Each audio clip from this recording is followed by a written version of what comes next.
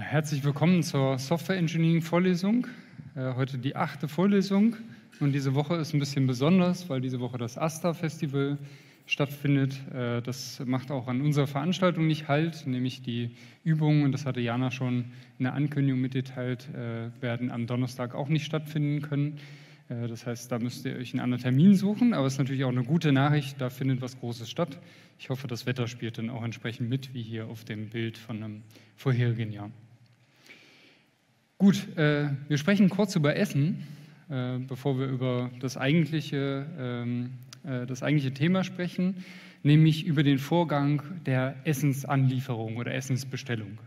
So, und das ist hier ein so ein Snapshot zwischendurch. Ja, wir sehen irgendwie, da liefert jemand anscheinend gerade was oder holt gerade was ab oder da ist eine Person und so ein Roller drauf und der Box ist vielleicht Essen drin oder kein Essen mehr, das wissen wir nicht so genau. Äh, tatsächlich gibt es jetzt verschiedene Stadien, was damit zu tun hat. Da gibt es verschiedene Schritte und diese Schritte wollen wir uns auch heute für Software angucken, aber wir gucken uns die erstmal für dieses Essen an.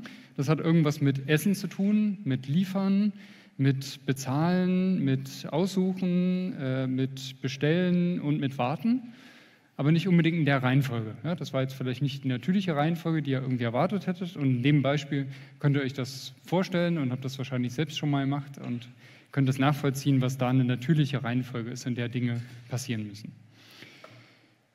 In der Vorlesung haben wir hier meist anders gestartet. Ich möchte natürlich nicht jedes Mal über Essen reden und euch anregen, irgendwie über Essen nachzudenken und dann hungrig zu werden, sondern wir haben über Schaukeln gesprochen und haben insgesamt jetzt schon sechs Vorlesungen gehabt, plus die Einführungsvorlesung. Äh, und in den ersten beiden Inhaltsvorlesungen ging es um die Implementierung und über Versionskontrolle. Ja, Versionskontrolle, was jetzt diejenigen, die gerade in der Zentralübung da waren, auch viele gerade nutzen oder sich fragen, wie geht man mit diesen Merge-Konflikten zum Beispiel um. Gut, wir haben dann auch über das Testen gesprochen, wie wir diese Programme, die wir da produzieren, mit Hilfe von Black und, Whitebox-Testen irgendwie testen können. Wir haben über Software-Evolution gesprochen, da ging es darum, dass sich Software über die Zeit vielleicht weiterentwickelt. Wir wollen neue Features implementieren. Äh, wir müssen Software auch irgendwie anpassen oder Softwarewartung. Das heißt, es passiert irgendwas Unvorhergesehenes, das Programm funktioniert nicht und man muss schnell reagieren und die Software irgendwie beheben. Gut, und die letzte Vorlesung war schon ein bisschen besonders, weil die war nicht zu einer dieser Phasen. Ja, das andere sind alles irgendwie Phasen innerhalb der Softwareentwicklung, sondern das letzte Mal war was, was irgendwie übergreifend ist für verschiedene Phasen. Ne? Da haben wir zum Beispiel uns verschiedene äh, Modellierungssprachen angeguckt, um äh, zum Beispiel einen Zeitplan aufzustellen, zu sagen, das soll alles passieren in diesem Projekt und da könnte ein so ein Block in so einem Gantt-Chart könnte zum Beispiel sein, die Programmierung soll passieren, die Testphase soll passieren und ähnliches. Und wir werden uns heute angucken, wie diese Phasen einerseits zusammenspielen, welche es da denn so gibt, was so die typischen Phasen sind. Das sind nicht unbedingt immer genau die, die wir hier auflisten, Einerseits gibt es vielleicht ein paar Phasen, die wir dann zusammenfassen, die hier jetzt noch einzeln sind, wo wir einzelne Vorlesungen hatten. Und andererseits fehlen uns noch welche und kleiner Hinweis, da wird es dann auch in den nächsten Wochen noch zugehen.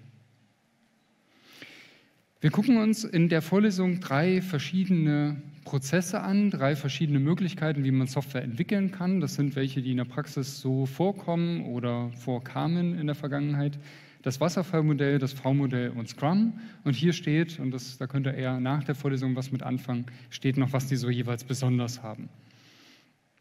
Fangen wir aber erstmal an, was ist eigentlich so ein Softwareentwicklungsprozess? Äh, und warum machen wir das eigentlich? Erstmal wollen wir das Projekt irgendwie strukturieren. Ja, wir hatten beim letzten Mal über das Projektmanagement gesprochen. Da wollte er irgendwie sicherstellen, dass nach zwei Jahren Entwicklungszeit von der Software, dass am Ende was rauskommt. Das heißt, das wollt ihr nicht erst einen Tag vorher feststellen, dass es vielleicht nicht rechtzeitig fertig wird, sondern wir wollten nach einem Jahr auch schon wissen, ob das Ganze äh, gut läuft, ob das äh, im Zeitplan ist oder nicht. Und dafür müssen wir es irgendwie runterbrechen. Wir wollen also das Projekt irgendwie strukturieren. Äh, wir wollen verstehen, was gibt es für Aktivitäten, was gibt es für Phasen, was muss man eigentlich alles machen, wenn man Software entwickelt und am Anfang, wenn man über Software Engineering oder Softwareprojekte nachdenkt, dann denkt man eigentlich an Programmierung. Man codet das einfach runter und dann ist man fertig. Und wir sozusagen die Vorlesung ist auch ein bisschen dazu äh, da, um einen Horizont zu erweitern und zu zeigen, da gibt es noch mehr. Was müssen wir alles machen? Äh, und wir werden äh, da auf verschiedene Aktivitäten und Phasen noch zu sprechen kommen heute. Wie organisieren wir die Kommunikation? Ja, wenn ich jetzt 100 Entwickler habe oder 1000 Entwickler habe, dann ist die Frage, redet jeder mit jedem bei Bedarf? Dann machen die Entwickler nichts anderes mehr, als nur noch miteinander zu reden äh, oder zu chatten oder per E-Mail zu kommunizieren oder auf welchem Weg auch immer. Äh, das heißt, man muss auch überlegen, was sind vielleicht Kommunikationswege? Wie kann man die vielleicht in Teams aufteilen? Äh, da kommen wir insbesondere im dritten Teil etwas genauer drauf. Äh, dann ist die Frage auch, wer hat welche Verantwortlichkeiten. Es hat vielleicht nicht jeder irgendwie die gleichen Verantwortlichkeiten. Ich kann zum Beispiel auch überlegen, dass es eine Person gibt, die eher für die Wartung der Software zuständig ist, eine eher für das Testen und eine eher für das Programmieren. Und äh, die drei arbeiten dann zusammen in einem Team. Das sind also Verantwortlichkeiten. Dann ist die Frage, vergisst man vielleicht irgendwas? Also vergisst man zum Beispiel das Testen und überlässt das nachher den, den Endanwendern? Ähm, können wir irgendwie das Projektergebnis vorhersagen. Ja, das ist natürlich aus Projektmanagement-Ebene äh, relativ interessant. So, ihr leitet da so ein Projekt, da sind 100 Leute beschäftigt, das ist ein entsprechendes Volumen von mehreren Millionen, was da reinfließt. Äh, und dann ist natürlich die Frage, könnt ihr irgendwie vorhersehen, ob das äh, Projekt nach diesen zwei Jahren fertig wird oder ob es vielleicht fünf Jahre braucht oder ob es abgebrochen werden sollte, vielleicht auch. Gut, das heißt, wir wollen irgendwie steuern, wir wollen vielleicht irgendwie darauf einwirken. Wenn wir feststellen, nach dem ersten halben Jahr, okay, die Entwickler sind noch nicht geschult äh, genug, können wir irgendwie noch reagieren. Wenn wir das nach zwei Jahren feststellen, dann ist das Projekt zu Ende, dann können wir da nichts mehr machen. Ja? Wenn wir die Entwickler dann schulen, hat es keinen Effekt mehr. Es geht vielleicht auch um Erfahrung. Wir haben äh, in der Vergangenheit wurden viele Softwareprojekte entwickelt. Äh, keiner von uns, also weder ihr noch ich, äh, kennt jedes einzelne Softwareprojekt, aber es gibt natürlich viele Softwareprojekte oder Personen, die viele Projekte durchgeführt haben, die dann Erfahrungswerte haben und diese Erfahrungswerte jetzt auch gießen in so gewisse Entwicklungsprozesse. Und das sehen wir jetzt gleich. Die kommen typischerweise auch von Personen, teilweise aus der Forschung, teilweise aus der Praxis, die sich eben diese Modelle äh, ausgedacht haben. Gut, und dann ist noch die Frage, wenn ich jetzt Hardware und Software entwickeln muss, in meinen letzten Vorlesungen war öfter mal so ein Rasenmäherroboter oder ein Staubsaugerroboter mein Beispiel, dann muss da eben Hardware entwickelt werden, muss Software entwickelt werden und dann stellt sich natürlich die Frage, ist, äh, wie greift das äh, ineinander? Äh, von der Hardware habe ich vielleicht erstmal nur Prototypen und dann nicht das fertige Produkt, aber ich möchte damit dann schon testen. Ich muss das also irgendwie synchronisieren. Gut, ähm, jetzt eine kurze Definition, was eigentlich so ein Softwareprozess ist. Lasse ich euch kurz lesen.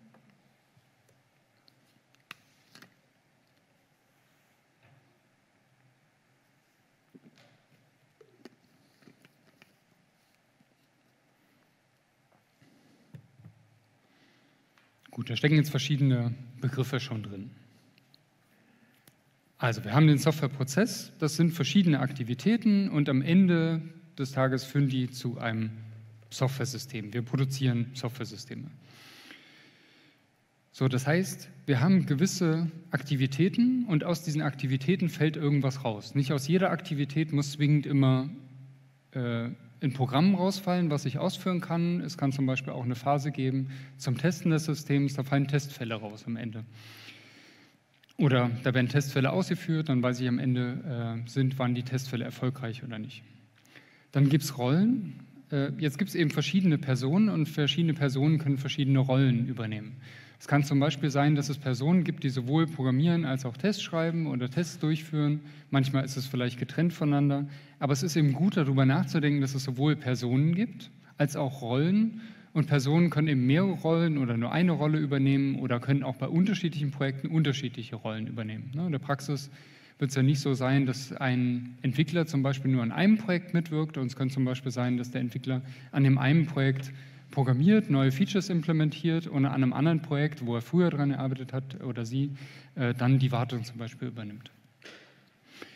Gut, und jetzt gibt es vielleicht Aktivitäten, die bestimmte Sachen bedingen. Ich kann eben erst was an der Software testen, wenn zumindest mal in Grundzügen irgendwas da ist, was ich testen kann. Das heißt, es gibt gewisse Vor- und Nachbedingungen, gewisse Vorbedingungen, was vorher gelten muss und nur wenn ich gewisse Randbedingungen erfülle, kann ich weitermachen. Nur wenn die Tests hinreichend gut waren, äh, kann ich dann weitermachen und die äh, Software zum Beispiel ausliefern.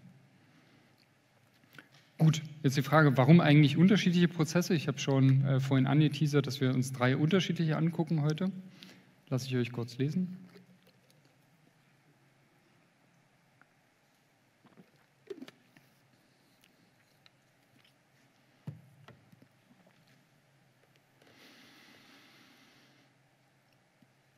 Gut, äh, es gibt nicht die eierlegende Wollmilchsau, es gibt nicht den einen Entwicklungsprozess, mit dem man irgendwie jede Software sinnvoll äh, erstellen kann und sollte.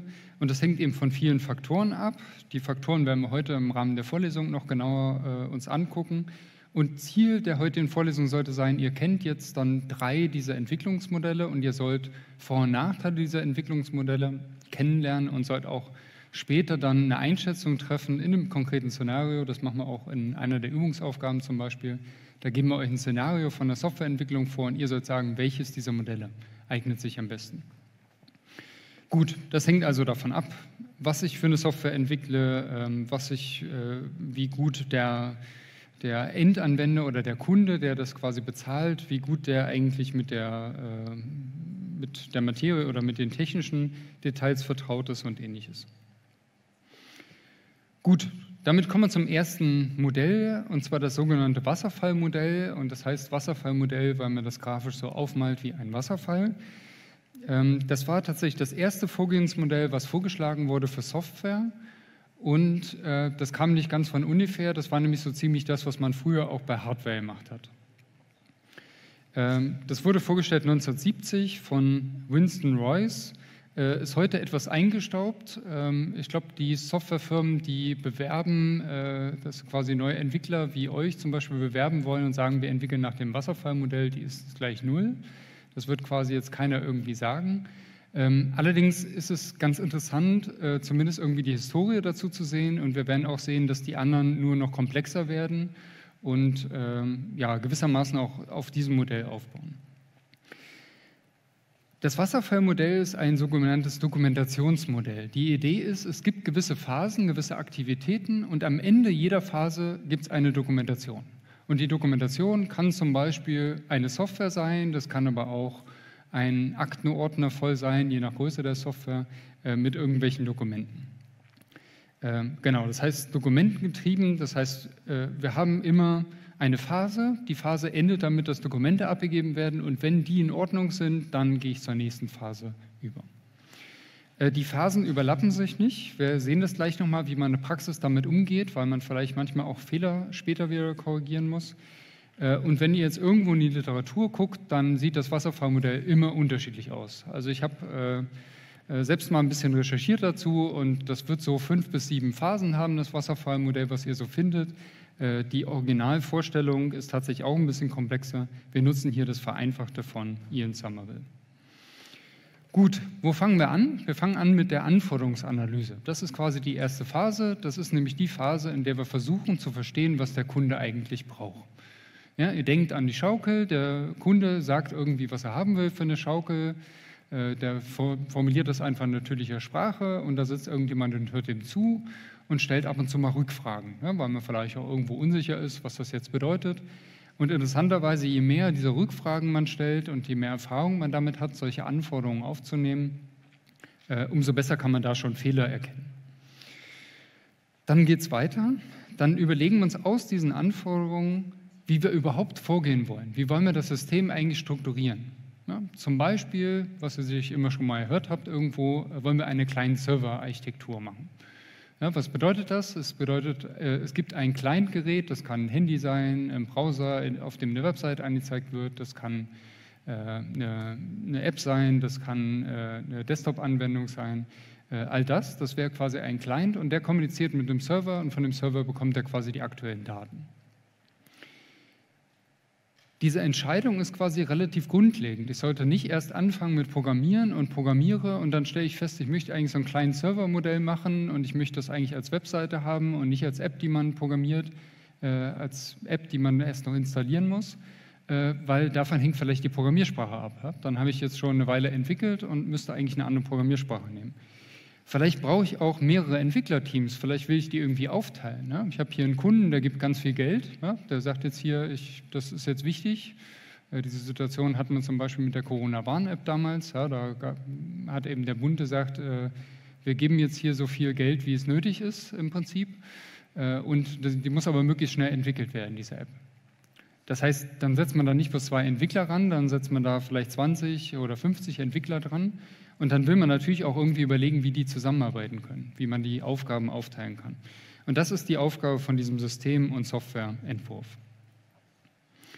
Gut, dann irgendwann starten wir natürlich das Programmieren. Äh, das heißt, wir überlegen uns, jetzt gibt es vielleicht äh, eine Webseite und es gibt ein Backend, einen Server, auf dem wir was programmieren. Das können zum Beispiel unterschiedliche Programmiersprachen sein, es können unterschiedliche Teams sein.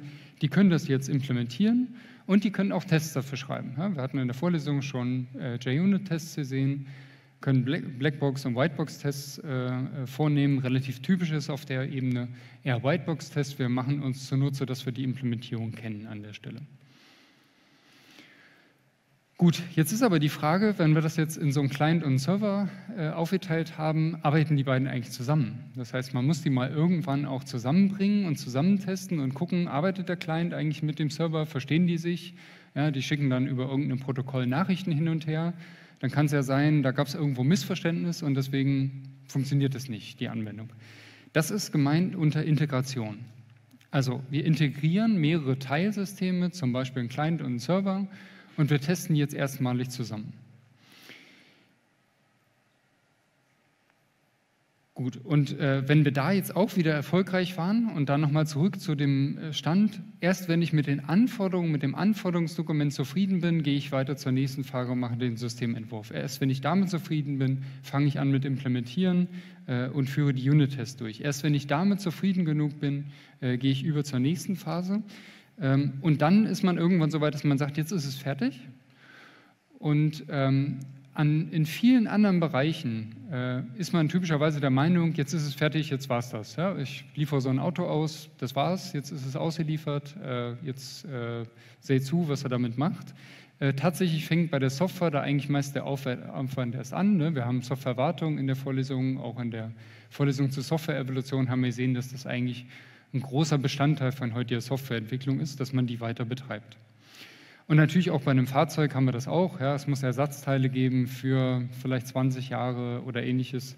Ähm, äh, da haben wir das natürlich genauso.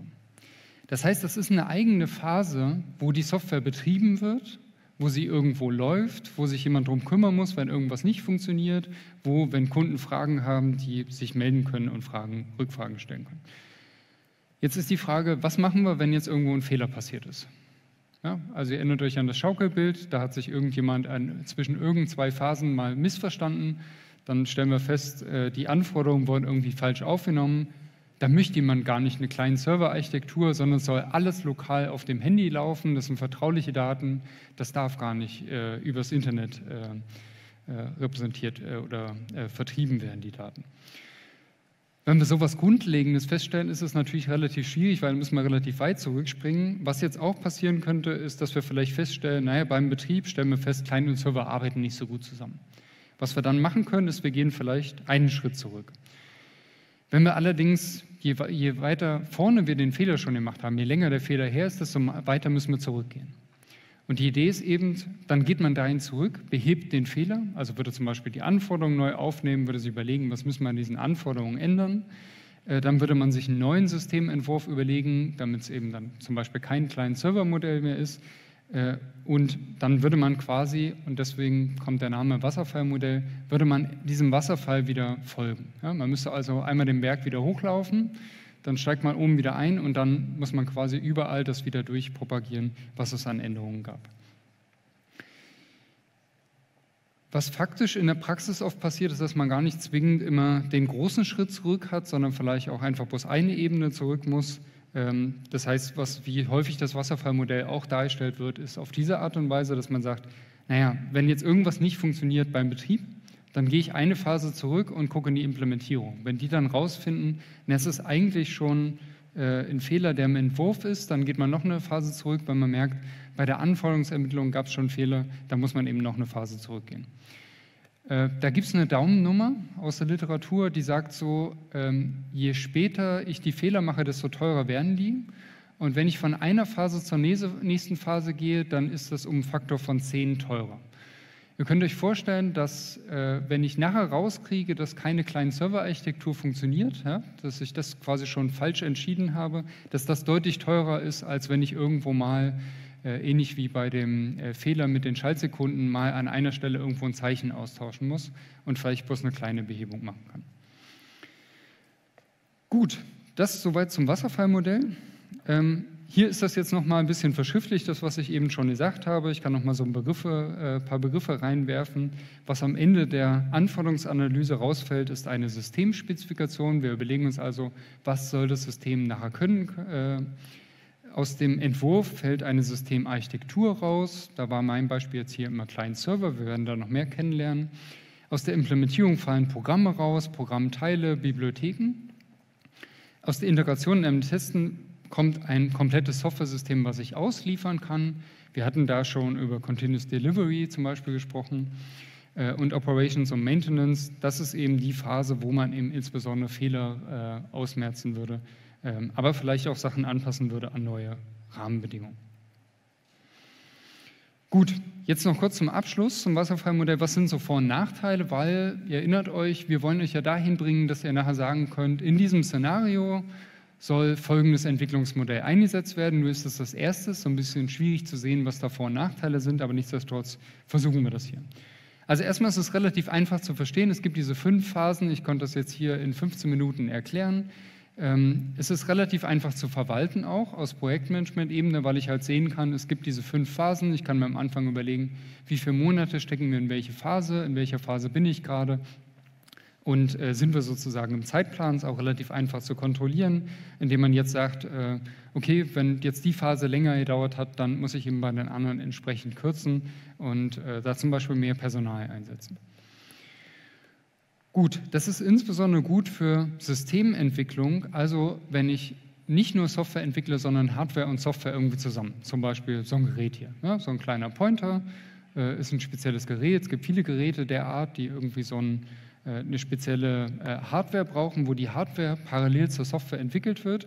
Äh, und das Wasserfallmodell ist insbesondere da praktisch, weil es ein ähnliches Modell auch für Hardwareentwicklung gibt, wo man auch eben erst von den Anforderungen später hin zur Umsetzung kommt. Gut, äh, tatsächlich gibt es auch formale äh, Systementwicklung, das heißt, man kann teilweise schon Fehler automatisiert mit Werkzeugen erkennen, basierend auf den Anforderungen. Ja, aber das äh, eher so als Randnotiz. Gut, was gibt es für Beispieldomänen, wo man das einsetzen kann? Ja, das ist jetzt nicht unbedingt bei jedem äh, Software-System sinnvoll, aber es gibt so ein paar typische Domänen, zum Beispiel eingebettete Systeme. Ja, und das wäre jetzt hier so ein Beispiel für ein eingebettetes System, äh, hat offensichtlich äh, relativ starke Hardware-Limitierungen, äh, was man darauf machen kann. Da kann ich jetzt nicht beliebig viel Pixel zum Beispiel anzeigen oder ähnliches. Ähm, dann gibt es kritische Systeme, also welche, die starke äh, Safety- und Security-Anforderungen haben, wie zum Beispiel die Steuersoftware von einem Atomkraftwerk oder die äh, Steuersoftware, die in einem Fahrzeug ist oder die in einem äh, Flugzeug verbaut ist. Äh, insbesondere auch für große Entwicklungssysteme oder große Systeme, die entwickelt werden müssen, ähm, eben weil man das Team gut aufteilen kann, weil man gut sagen kann, äh, es gibt halt jetzt vielleicht 100 Entwickler, 1000 Entwickler und ich kann die eben jetzt so und so aufteilen in Gruppen und äh, nicht alle müssen zwingend Experte in allen diesen Phasen sein. Es gibt auch Nachteile. Äh, den einen Nachteil habe ich schon relativ ausführlich angesprochen, nämlich in späteren Entwicklungsstadien, wenn ich da äh, Fehler feststelle, die ich in früheren gemacht habe, dann äh, ist es erstmal relativ schwer, die noch umzusetzen, die noch durchzusetzen. Ähm, für die Entwicklung, die einzelnen Phasen sollten auch wirklich immer irgendwas produzieren. Man muss eben irgendwelche Dokumente produzieren, die dann quasi in die nächste Phase übergehen. Ähm, die, was natürlicherweise dazu führt, dass wenn quasi je, in, je früher die Phasen sind, desto teurer wird es, quasi Änderungen daran zu machen, dass man eben Anforderungen einfriert. Dass man an einem gewissen Punkt sagt, okay, das wird jetzt das Gerät, das und das wird die Hardware und genau für die entwickeln wir jetzt Software und wir ändern daran nichts mehr. Es wird nicht einfach plötzlich ein Display geben mit einer Zeile mehr oder es wird nicht plötzlich einfach noch eine Taste mehr geben, sondern man wird sich einfach dann festlegen und sagen, das frieren wir jetzt ein, zumindest für dieses Projekt. Vielleicht gibt es danach ein neues Produkt, bei dem können wir dann wieder neue, ähm, äh, neue Anforderungen festlegen. Das kann aber eben dazu führen, dass wir irgendwelche Implementierungstricks brauchen. Ja, vielleicht haben wir es ein bisschen übertrieben mit irgendwie dem Speicher. Ja, vielleicht ist da dann zu wenig Speicher drin. Und dann müssen wir ziemlich arbeiten, dass wir mit diesem Speicher umgehen können. Was das insbesondere auch bedeutet, dass das Wasserfallmodell insbesondere dann sich anbietet, wenn die Entwickler oder die Teams schon ziemlich gut wissen, was sie da eigentlich tun sollen, sich mit der Materie auskennen, sie also relativ klare Anforderungen am Anfang schon aufstellen können und da wenig äh, Änderungen zu erwarten sind. Also, in dem Teil ging es überhaupt erstmal um Softwareentwicklungsprozesse, Vorgehensmodelle auf Deutsch. Äh, was machen wir da eigentlich? Warum machen wir das? Mit welchen Zielen? Und wir haben uns das Wasserfallmodell angeguckt. Was sind die Phasen? Was sind die Ergebnisse, die zwischendurch rausfallen? Was sind so Beispiel, Anwendungsdomänen? Was sind Vor- und Nachteile? So, und jetzt haben wir ein kleines Quiz für euch im Panda. Da könnt ihr euch kurz durchklicken könnt gucken, äh, ob ihr das alles verstanden habt und ob ihr das so alles mitnehmen konntet schon aus der Vorlesung. Ähm, ja, vielleicht gibt ihr ein kurzes Handzeichen, wenn ihr soweit seid, dann weiß ich, wann wir weitermachen können. Dann viel Spaß.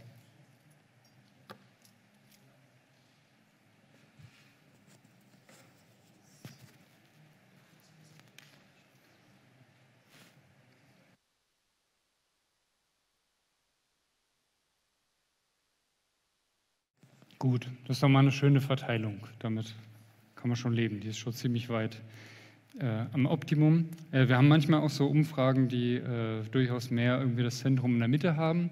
Man muss auch sagen, das ist natürlich eher was äh, einfach Wissen reproduzieren. Ne? Das ist ja so eine der Sachen, die man, äh, die von euch dann auch in der äh, Prüfung irgendwie verlangen. Ähm, da war jetzt noch nicht so viel Verständnis oder Anwendung dabei. Gibt es trotzdem Fragen dazu?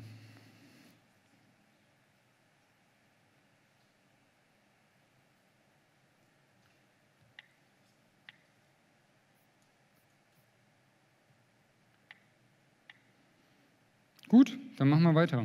Dann war das quasi das erste Entwicklungsmodell, was ihr jetzt kennengelernt habt. Und jetzt gibt es eins, das ist quasi dafür bekannt, dass äh, das Testen etwas mehr in den Fokus rückt. Da gibt es quasi etwas mehr äh, Überlegungen zu, wie man eigentlich testen sollte. Äh, und wir werden auch gleich klären, warum das V-Modell heißt. Da gibt es nämlich zwei mögliche Erklärungen dazu. Gut, äh, also erstmal das V-Modell wurde entwickelt ähm, vom Verteidigungsministerium. Das ist also das äh, Modell vom Verteidigungsministerium und äh, das ist quasi eine mögliche Deutung, warum das das V-Modell heißt, vom deutschen Verteidigungsministerium und es wird quasi, wurde schon davor entwickelt, aber wird benötigt seit 1992. Das heißt, sobald Deutschland irgendwas beauftragt, was Softwareentwicklung mit beinhaltet und irgendwie für die Verteidigung von Deutschland genutzt wird, dann muss es nach diesem Modell entwickelt werden. So, und das wird jetzt vielleicht nicht jeden von euch betreffen später in der Praxis, aber einige von euch. Äh, und äh, das, interessanterweise wurde das dann eben nicht nur da eingesetzt und auch nicht nur innerhalb von Deutschland, sondern auch außerhalb äh, und hat quasi einen gewissen Bekanntheitsgrad erreicht. Aber wenn ihr euch vielleicht englische Textbücher anguckt aus anderen Ländern, dann nicht wundern, wenn da das V-Modell nicht drin ist. Das hat natürlich eine besondere Bedeutung dann in Deutschland. Tatsächlich ist eine Erweiterung vom Wasserfallmodell. Das heißt, man hat sich das Wasserfallmodell als Grundlage genommen und hat eben überlegt, wie kann man eigentlich Qualitätssicherung, wie kann man ähm, das Management von eben so Konfigurationen, also Versionsverwaltung, zum Beispiel Projektmanagement, wie kann man das eigentlich alles mit dem äh, Wasserfallmodell verheiraten? Äh, und insbesondere eben bei uns jetzt hier eine Vorlesung der Fokus auf Qualitätssicherungsmaßnahmen. Also kurzum das Testen. Gut, 1997 gab es das V-Modell 97. Äh, das hat dann auch inkrementelle Entwicklung mit äh, bedacht, dass man quasi nicht einfach nur einmal am Anfang das große System festlegen muss, sondern dass man es in Schritten weiterentwickelt. Man hat sich da auch Gedanken gemacht, wie man die Hardware gleichzeitig mit in dem Modell unterkriegt. Äh, wie man objektorientiert vielleicht entwickeln kann. 2004 dann noch eine Erweiterung, das ist äh, das sogenannte V-Modell XT, das ist auch das, was am weitesten verbreitet ist dann heute. Ähm, das XT steht für Extreme Tailoring. Und was bedeutet das? Naja, das bedeutet, es gibt ein Grundgerüst, ein generisches Modell, und das wird dann allerdings für den Einzelfall angepasst und man überlegt sich dann für eine Firma, für einen speziellen Anwendungsfall, überlegt man sich eben, wie man das konkret anpasst und wie man das ausgestaltet. Insbesondere, was quasi all diese verschiedenen Modelle gemeinsam haben, ist, dass es jetzt vier Testphasen statt quasi zwei Testphasen gibt im Wasserfallmodell. Also, Was wir weiterhin machen, ist irgendwie Anforderungen zu ermitteln. Also Requirements Elicitation im Englischen. Wir modellieren das System, das heißt, wir überlegen uns, was soll dieses System alles können, was ist vielleicht diese grobe Struktur von diesem System. Ähm, das, äh, wie sieht quasi die Architektur von diesem System aus? Das ist im Moment ein bisschen schwierig, weil wir haben jetzt über Architektur noch nicht so detailliert gesprochen. Das machen wir in zwei Vorlesungen oder drei Vorlesungen von jetzt an noch deutlich detaillierter. Aber wir können euch da zum Beispiel vorstellen, das, was ich jetzt als Beispiel schon hatte, wie dieses kleine Servermodell. Ja, ich überlege halt, ich habe irgendwie zwei Teile. Ich kann mir auch überlegen, ich habe eine kleine Bibliothek in der Bibliothek wird irgendwie, werden Verschlüsselungsalgorithmen implementiert zum Verschlüsseln und Entschlüsseln und dann sind es Architekturentscheidungen, solche äh, Bibliotheken zum Beispiel zu erstellen. Dann habe ich das eigentliche Software-Design und das ist ziemlich nah dran an dem, was ihr auch gerade in der Zentralübung im Praktikum macht. Das heißt, überlegen, welche Klassen äh, führe ich an. Ihr solltet jetzt bei der aktuellen Aufgabe zum Beispiel eine Oberklasse machen für Addition, Subtraktion und so weiter. Das sind alles Softwareentscheidungen. Ja, da haben wir euch die Entscheidung schon mal abgenommen. Es gibt eigentlich auch ein paar Entscheidungen, die ihr selber irgendwie auch fällen müsst da beim Entwickeln. Und tatsächlich sogar interessant für uns, ja, dass äh, so viele vielfältige Lösungen da entstehen, äh, weil es einfach viele Möglichkeiten gibt, die gleichen Anforderungen, die von uns kommen, umzusetzen. Dann kommen wir zur eigentlichen Implementierung. Das heißt, die Entscheidung, so eine Superklasse zu machen für verschiedene andere Klassen oder ein Paket anzulegen, wo verschiedene Klassen drin landen, das sind quasi Designentscheidungen, Entwurfsentscheidungen, äh, wohingegen wie genau die Methoden dann bis ins Detail implementiert werden, das ist dann tatsächlich Aufgabe in der Implementierungsphase. So, und jetzt können wir schon erahnen, da ist so eine Hälfte von so einem V jetzt irgendwie schon zu sehen. Und jetzt kommt tatsächlich die andere Hälfte von dem V dazu. Denn zu jeder Phase, die wir auf der linken Seite haben, gibt es eine passende Phase auf der rechten Seite, wo wir entsprechende Tests durchführen. Das heißt, wir würden Unit-Tests durchführen. Das sind eben äh, zum Beispiel im JUnit hatten wir solche Beispiele schon gesehen. Ich kann einzelne Klassen testen, ich kann ein einzelnes Package testen, kann eine einzelne Methode testen. Äh, das kann ich quasi alles basierend auf dem Softwareentwurf machen. Ja, wenn ich jetzt ein Package mir überlegt habe, dann kann ich zum Beispiel für das Package mir Tests überlegen. Das ist aber vielleicht noch nicht alles, weil was ich euch vorhin schon gesagt hatte, wir haben vielleicht ein kleines Serversystem und der Client muss auch mit dem Server reden. Das können wir mit diesen Unit-Tests quasi nicht ermitteln. Das ist das sogenannte Integration Testing. Das heißt, man integriert mehrere Teile, mehrere Komponenten von der Software und guckt, ob die auch zusammen funktionieren. Ja, ein anderes Beispiel könnte sein, äh, es gibt ein Motorsteuergerät. Ja, Motorsteuergeräte waren eine, eine, Zeit lang irgendwie groß in den Medien, weil mit denen quasi gefuscht wurde und da irgendwas reinprogrammiert wurde, was da nicht sein sollte.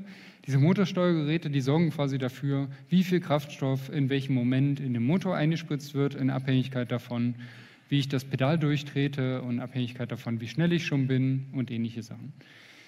So, das heißt, das ist ein Steuergerät, das ist eins von vielen Steuergeräten, aber die Frage ist natürlich auch, funktioniert das auch mit allen anderen zusammen im Fahrzeug? Und das Ganze passiert beim Integration Testing, wobei ich beim Integration Testing noch nicht komplette Fahrzeuge testen muss. Ja, was in der Automobilindustrie passiert, ich weiß nicht, wer sowas schon mal gesehen hat oder schon mal irgendwo eine, eine Fabrik besichtigt hat, da gibt es dann Prüfstände und ein Prüfstand ist zum Beispiel ein halbes Auto oder ist quasi einfach eine Verkettung von drei oder fünf Steuergeräten und wir haben vielleicht 90 in dem Fahrzeug äh, und diese Steuergeräte werden dann zusammen getestet, ob die zusammen eben auch funktionieren. Wenn wir das komplette System, das komplette Fahrzeug testen mit allen seinen Bestandteilen, dann hat das einen anderen Namen, dann heißt das System Testing. Und interessanterweise gibt es genau die passende Phase dazu, nämlich die Systemmodellierung, also wo ich mir überlege, was soll das Fahrzeug nachher können? Was soll das alles? Soll das ein, äh, ein Spurhalteassistent haben? Soll es eine Warnung haben, wenn sich im toten Winkel ein Radfahrer befindet? Soll das äh, automatisch abbremsen, wenn das Fahrzeug äh, davor quasi zu nahe kommt? Das sind alles Entscheidungen, was das System können soll. Und die kann ich auch erst abtesten, wenn ich das komplette Fahrzeug baue. Ich kann quasi nicht gucken, ob zwei Steuergeräte ermöglichen, dass ich äh, im, im Seitenspiegel erkenne, ob da ein Fahrradfahrer ist, weil das kann ich eben erst mit dem gesamten Fahrzeug testen.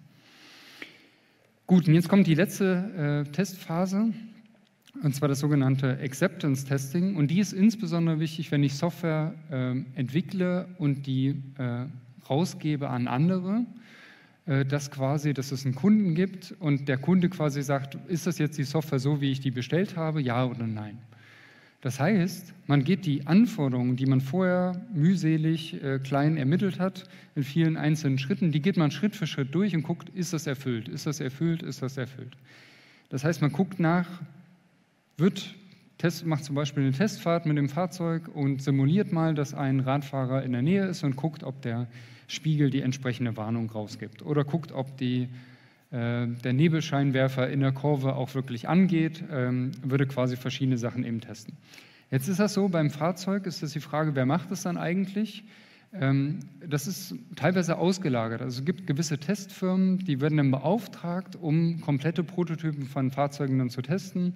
Äh, wenn ihr die auf der Straße rumfahren seht, dann soll meist auch das äußere Design des Fahrzeuges noch nicht verraten werden. Deswegen haben die meist so ein schwarz-weißes Muster außen drauf. wenn das so frühe Prototypen sind, die quasi so ein, zwei Jahre vor Markteinführung irgendwo rumfahren, dann haben die ein schwarz-weißes Muster, damit man die Form nicht erkennen kann. Gut, also das ist Acceptance Testing und äh, das wäre jetzt zum Beispiel beim Verteidigungsministerium, die würden eben Software beauftragen und an der Stelle gucken sie alle Anforderungen durch und gucken, sind die erfüllt oder nicht. Gut, das heißt, das sind alles Testphasen und jetzt können wir gucken, woher kommen immer die Testfälle? Na, die kommen aus der entsprechenden passenden Phase. Die Anforderungen geben mir vor, was muss ich beim Acceptance Testing testen. Die Systemmodellierung gibt vor, was muss ich beim System äh, testen, testen und so weiter.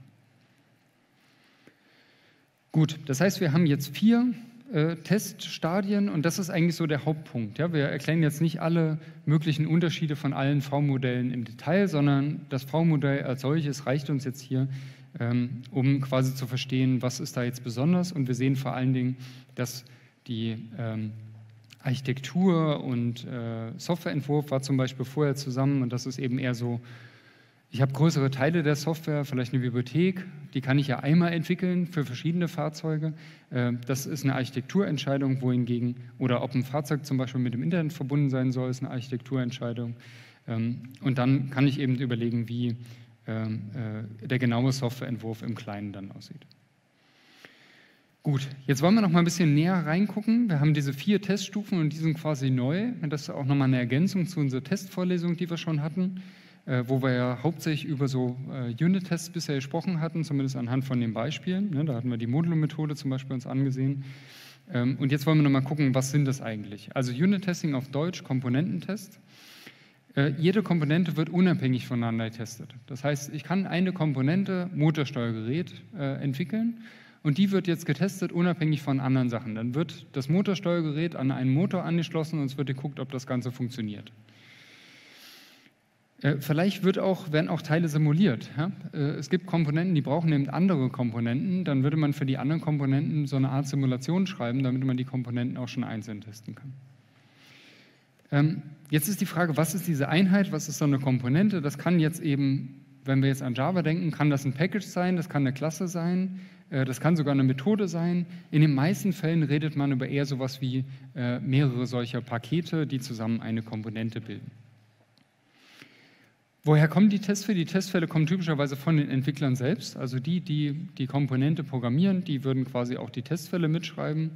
Und hier ist Automatisierung sehr häufig. Ja, also Stichwort JUnit, ich kann jederzeit automatisiert die Testfälle ausführen und kann dann gucken, ob es weiterhin durchläuft.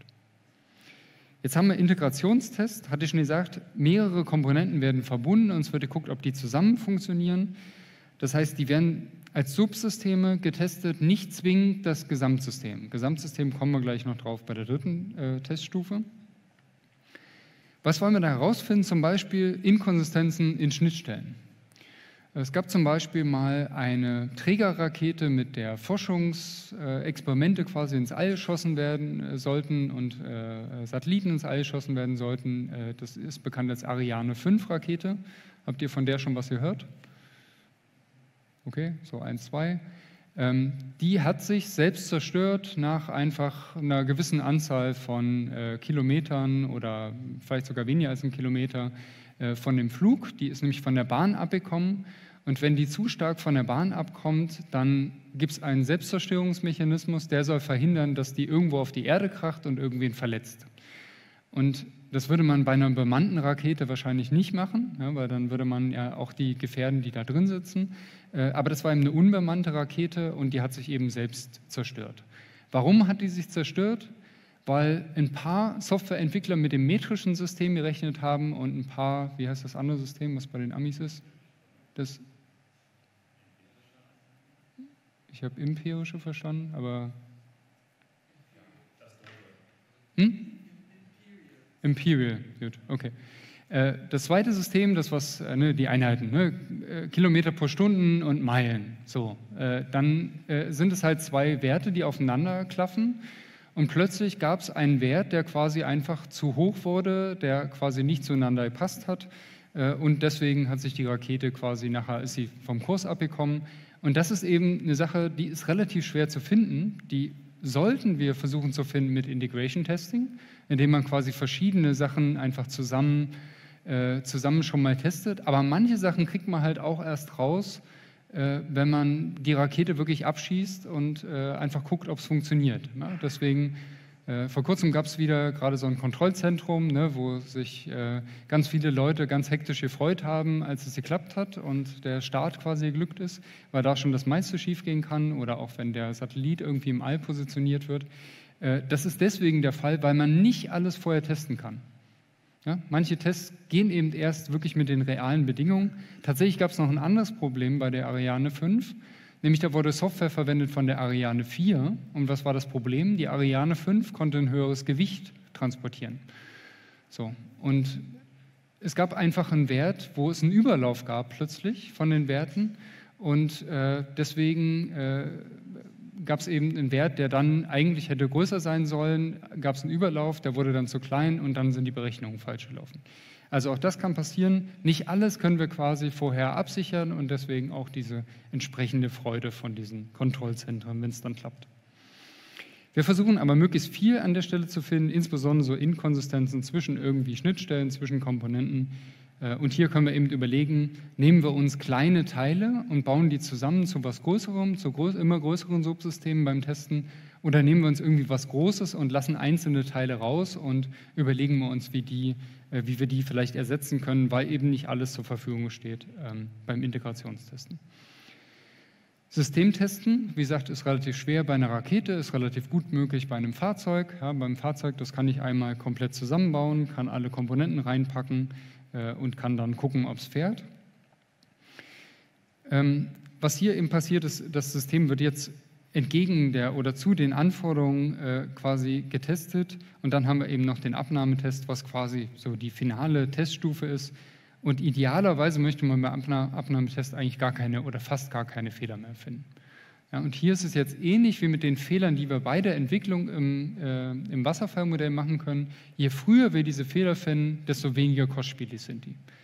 Das heißt, ich möchte möglichst viele Fehler mit dem Unit-Testing finden, ein paar Fehler dann noch mit dem Integration-Test, nahezu gar keine mit dem System testen und möglichst alles sollte reibungslos äh, laufen mit dem Acceptance-Testing. In der Praxis muss das nicht immer so aussehen, aber ein Fehler im Acceptance-Testing ist deutlich teurer, als wenn ich den eben schon früher feststelle.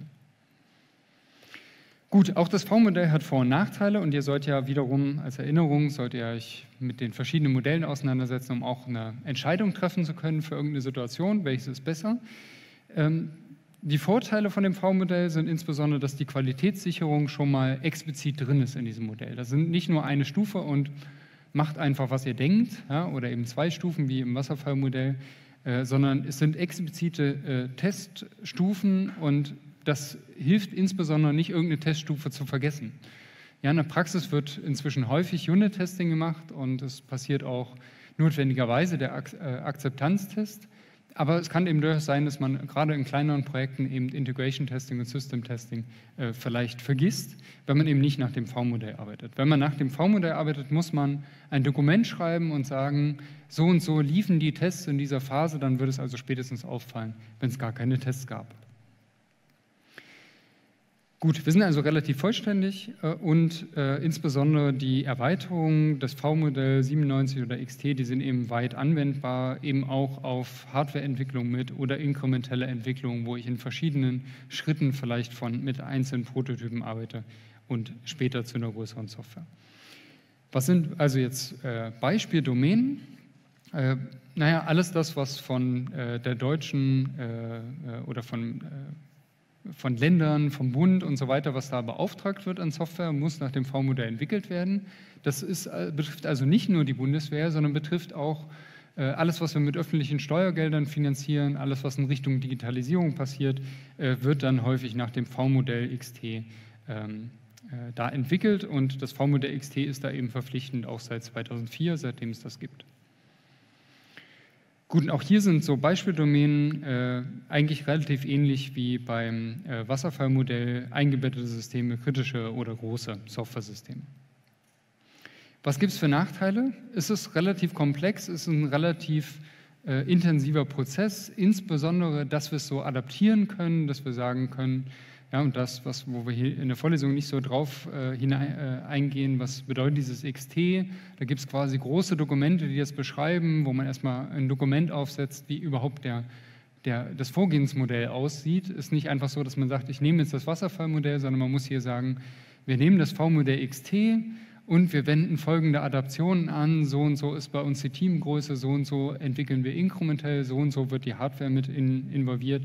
Das ist also alles, was bevor man überhaupt über Anforderungen nachdenkt.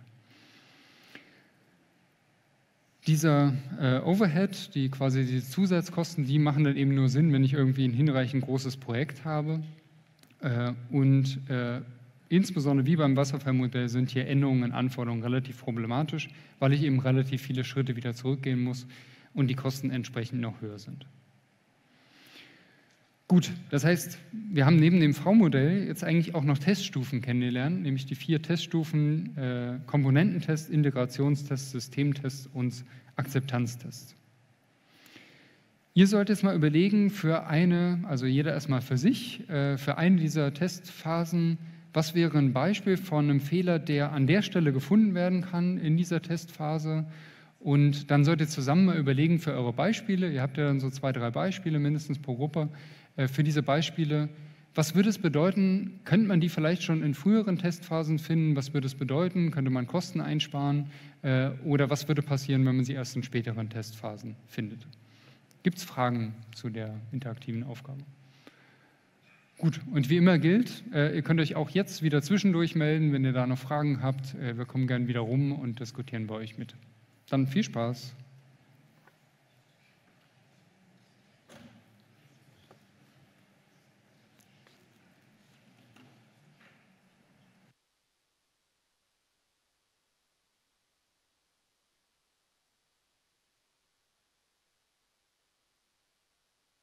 Gut, dann machen wir weiter mit dem letzten Modell.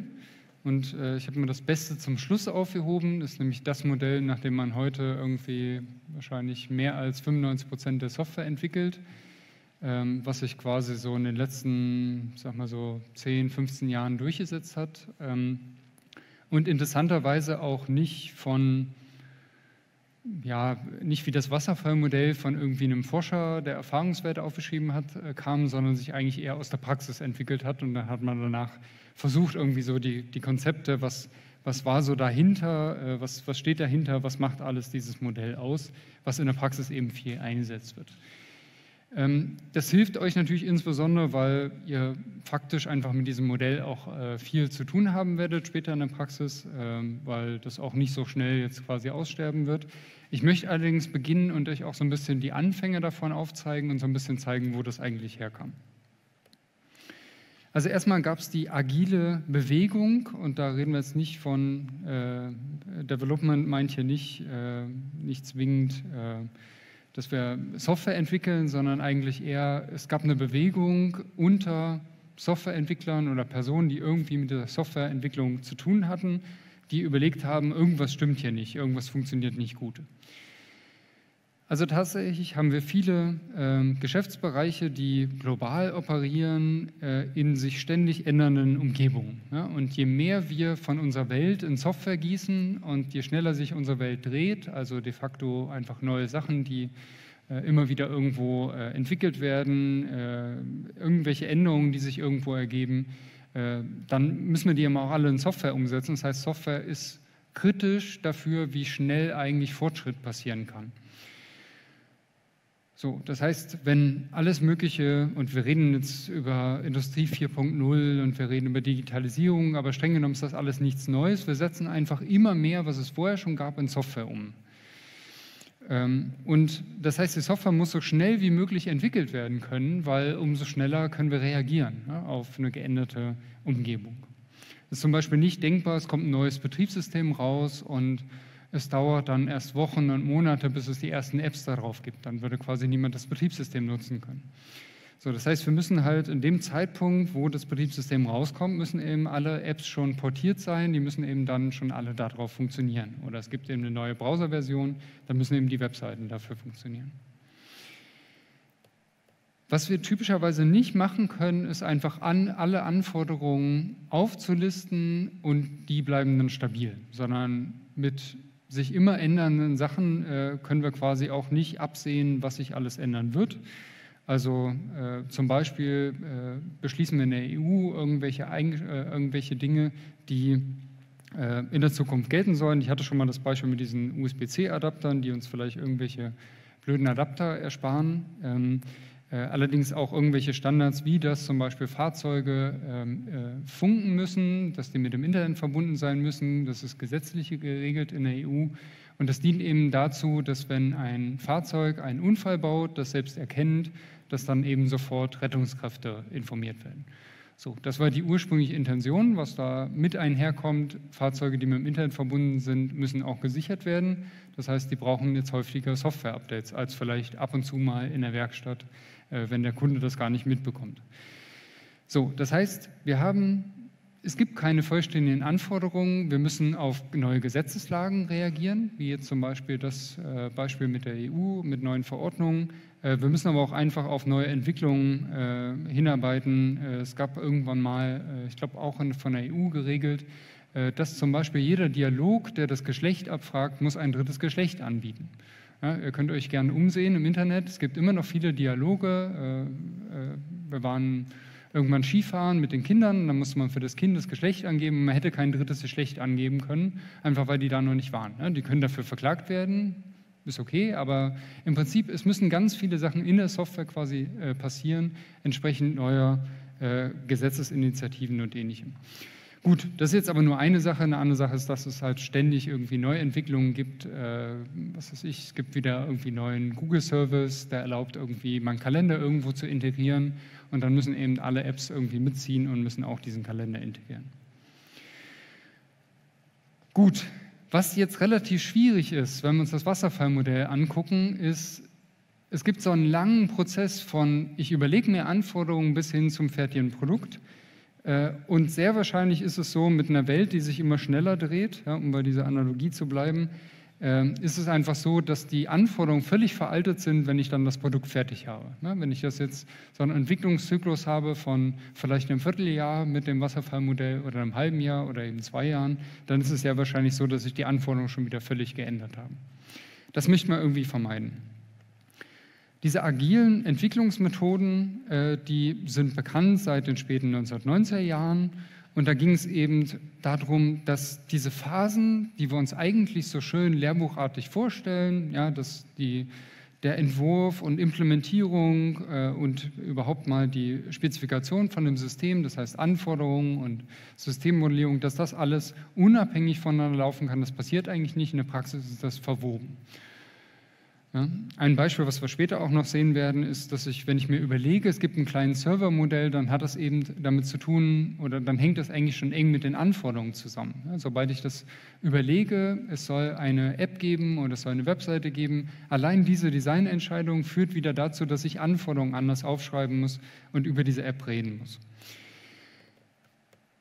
Die Überlegung bei den agilen Methoden ist, dass wir jedes Inkrement nur festlegen und das auch wieder von Endanwendern äh, evaluieren lassen. Das heißt, ich überlege mir in kleinen Entwicklungsschritten, was kann ich jetzt irgendwie erreichen, was kann ich in den nächsten paar Wochen erreichen und dann setze ich dieses kleine Inkrement um und lasse das am Ende quasi absegnen. Ähm, und tatsächlich, was sozusagen diese agilen Methoden auch mitgebracht haben, ist, dass man einfach Werkzeuge, die da sind, dass man die einfach benutzt. Das heißt, dass man nicht einfach in einem reinen Texteditor Programme editiert, sondern dass man eine IDE benutzt, dass man in der IDE viele Sachen, die ihr auch schon teilweise benutzt habt im Praktikum, wie ein Refactoring, automatische Codeformatierung und ähnliches, dass man das einfach benutzt, äh, um eben schneller entwickeln zu können und dann auch schneller Produktivsoftware wieder erzeugen zu können. So, und äh, wie soll das anders sein? Da treffen sich irgendwie 17 Experten äh, zum Skifahren und die treffen sich in der Skihütte und nebenbei haben die abends immer noch ein bisschen gesprochen, damit die das Ganze abrechnen können wahrscheinlich oder so, ähm, äh, das nicht komplett nur Vergnügen ist. Äh, das heißt, da haben sich äh, Personen, sowohl Forscher als auch Praktiker, die quasi relativ eng mit der Softwareentwicklung zu tun haben, die da schon eine gewisse Erfahrung haben, erkennt man jetzt auf dem Bild nicht so, aber die meisten von denen hatten schon graue Haare zu dem Zeitpunkt. Die haben sich eben getroffen und haben überlegt, was ist eigentlich der Kern von all dem, was in den letzten Jahren passiert ist? Das war jetzt äh, Anfang der 2000er Jahre äh, und wie gesagt Ende der 90er Jahre haben die Personen alle angefangen und haben über verschiedene agile Methoden nachgedacht. Und die haben am Ende dieses äh, Skiausflugs äh, ein Dokument geschrieben, das nennt sich Manifesto und das kann man heute noch nachlesen. Dann haben sie noch eine Webseite gebaut und da findet man das. Äh, und das äh, lasse ich euch kurz lesen und dann werden wir das im Detail besprechen.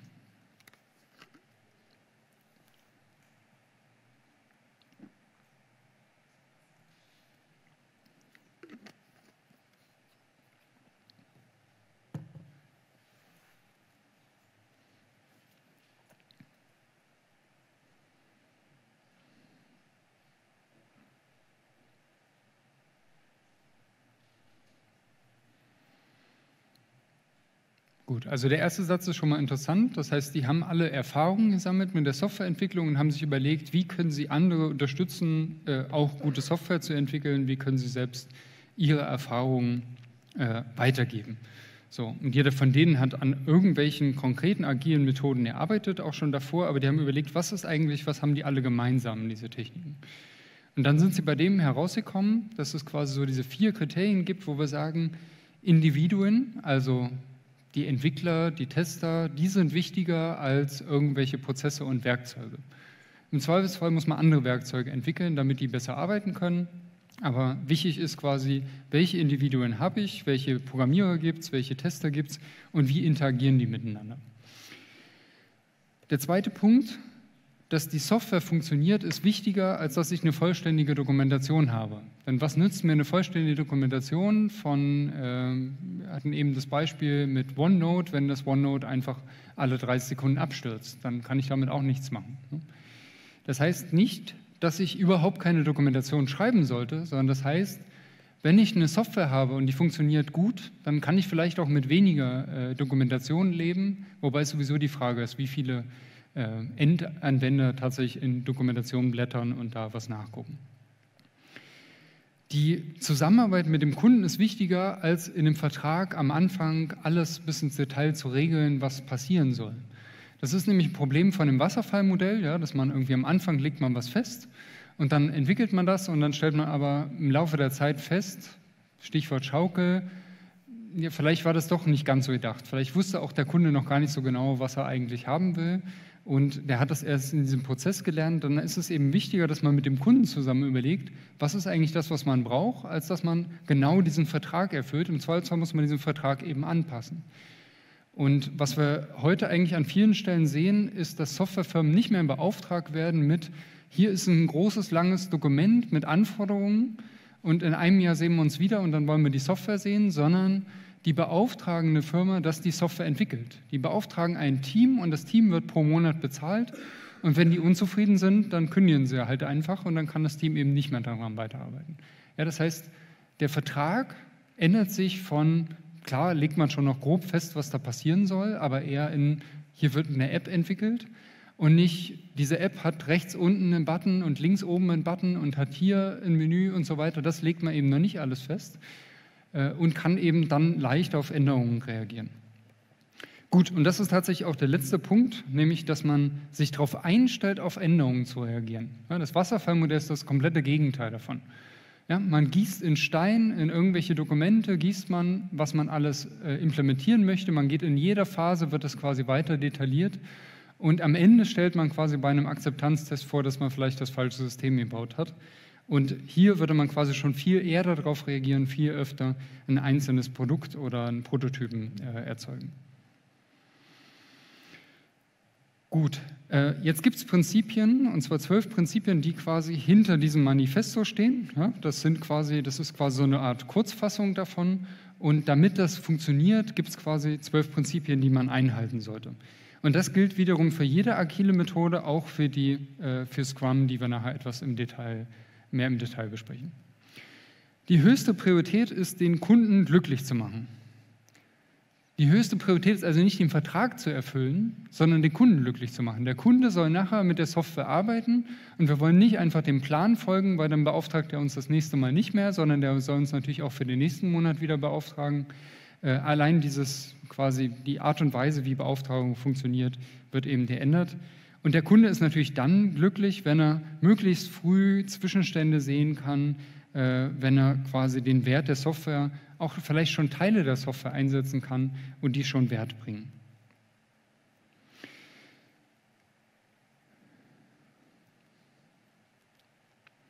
Gut, das zweite Prinzip äh, ist, dass wir Änderungen willkommen heißen müssen. Änderungen sind tatsächlich relativ nervig, wenn ihr euch vorstellt, ihr entwickelt jetzt irgendwas und äh, wir haben, hatten auch ein paar Ideen für das Praktikum, da Änderungen einzubauen, aber es ist ein bisschen schwierig, so viel entwickelt ihr ja da noch nicht und ihr habt auch noch nicht so viel Erfahrung. Aber theoretisch hätten wir das auch machen können, dass wir sagen, ja, jetzt habt ihr das entwickelt, jetzt schmeißt ihr das weg und jetzt entwickelt ihr was anderes. Das ist tatsächlich ziemlich nah dran an dem, was in der Praxis passiert. Ja, da habt ihr zwei Wochen entwickelt und am Ende stellt man fest, nee, das war nicht sinnvoll, das machen wir nicht mehr, wir machen das anders.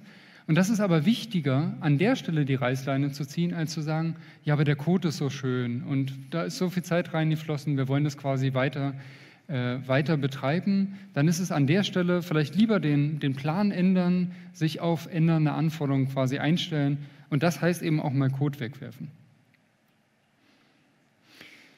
Gut, äh, funktionierende Software äh, häufig ausliefern.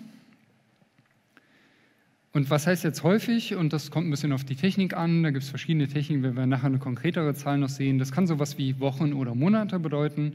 Und es geht eben nicht mehr zu Jahren. Und teilweise heißt es inzwischen auch mehrmals täglich. Ja, es gibt viel Software, äh, wo ihr mehrmals täglich irgendwelche Updates bekommt. Ihr kriegt es halt gar nicht mit. Ihr seid auf irgendeiner Webseite unterwegs und die Webseite kriegt im Hintergrund ein Update und dann äh, arbeitet ihr quasi auf einer neuen Version der, der Webseite.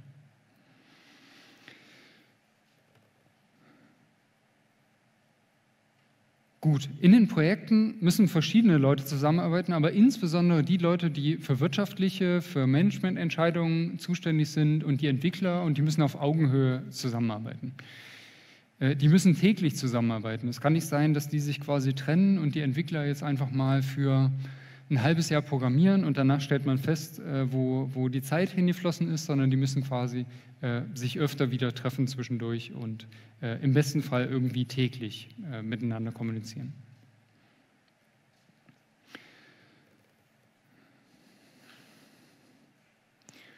Gut, und vieles von, vom Software Engineering ist so die magische Frage, wie kommen wir eigentlich zu guter, günstiger Software, die erfolgreich ist. Und eine der Sachen, die man quasi da gelernt hat oder die man dem agilen Manifesto nachlesen kann, ist, was man vor allem braucht, sind motivierte Mitarbeitende. Ja, wenn motivierte Mitarbeitende da sind, die eine gute Arbeitsumgebung haben, wo sie sagen, das macht Spaß, da zu entwickeln, es macht Spaß, das System zu testen, es macht Spaß, das weiterzuentwickeln, dann wird es quasi auch besser funktionieren, dann wird es, äh, äh werden die Softwareprojekte auch erfolgreich. Und da gibt es eine Reihe von Sachen, die sich daraus ergeben. Zum Beispiel waren die äh, beim Agilen Manifesto relativ früh Verfechter von 40-Stunden-Wochen oder sogar kürzeren Konzepten. Das, was wir heute relativ viel diskutieren in Deutschland, dass wir überall die, die Wochenarbeitszeit verkürzen wollen. Das ist da tatsächlich Anfang der 2000er schon diskutiert worden, weil ein Entwickler, der über 80 Stunden die Woche arbeitet, äh, der wird wahrscheinlich nicht mehr irgendwann motiviert sein und glücklich äh, in seinem Job.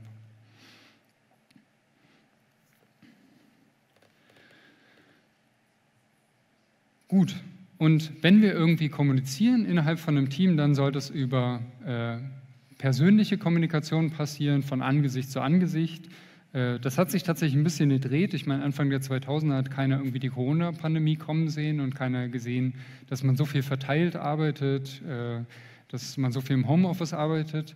Äh, aber selbst da möchte man die Personen sehen, man möchte mit ihnen sprechen und nicht alles immer nur schriftlich machen. Das heißt nicht, dass man nichts schriftlich macht, aber das heißt, dass eben viel der Kommunikation im Team sollte eben von Mensch zu Mensch passieren.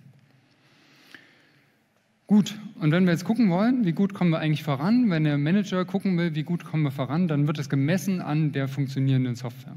Also ob die Software funktioniert, wie gut sie funktioniert, äh, an der wird quasi äh, primär gemessen der Erfolg der Softwareentwicklung.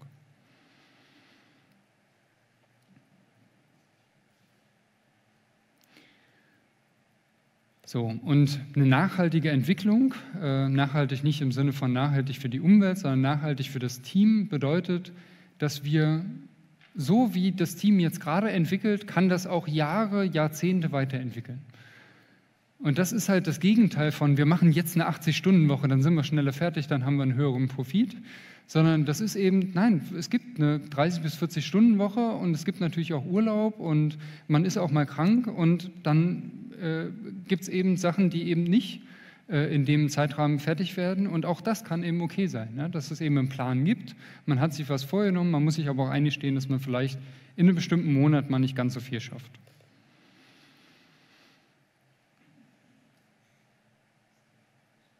Äh, das erinnert mich daran, dass es im Linux-Kernel, ich äh, weiß nicht, ob ich das hier schon erzählt hatte, kann man nachgucken, wie viele Commits es da pro Woche gibt. Und da gibt es typischerweise in so Mitte Dezember gibt es einen Peak, wo die Leute irgendwie noch Sachen fertig haben wollen vor Weihnachten. Ja? Was so ein Indiz ist und danach fällt es erstmal ab irgendwie über Weihnachten, dass dann doch viele Personen dann irgendwie so eine Pause da äh, machen wollen. Und es nützt nichts, das irgendwie zu erzwingen und zu sagen, wir müssen jede Woche so und so viele Commits haben oder wir müssen jede Woche so und so viel entwickeln, sondern dann muss man eben einfach damit leben. Ja? Oder es gibt vielleicht im Sommer irgendwie eine Pause, wo weniger passiert. Gut, ansonsten, wir brauchen technische Exzellenz. Es braucht Personen, die sich damit auskennen, was sie da machen. Äh, da brauchen wir kontinuierlich irgendwie Aufmerksamkeit drauf. Äh, wir brauchen irgendwie gutes Design und da haben wir eben auch schon über gutes Design im Kleinen, über Refactorings gesprochen, Smells erkennen und ähnliches. Das kommt eben tatsächlich, hat es die Wurzeln in diesem agilen Manifesto oder der agilen Entwicklung. Gut, und auch das haben wir schon als Prinzip vorher mal gehört. Simplicity, the art of maximizing the amount of work not done is essential. Also das Ziel ist nicht einfach, möglichst viel Lines of Code pro Tag zu produzieren, sondern das Ziel ist eigentlich mit möglichst wenig Aufwand was zu produzieren, was aber schon funktioniert.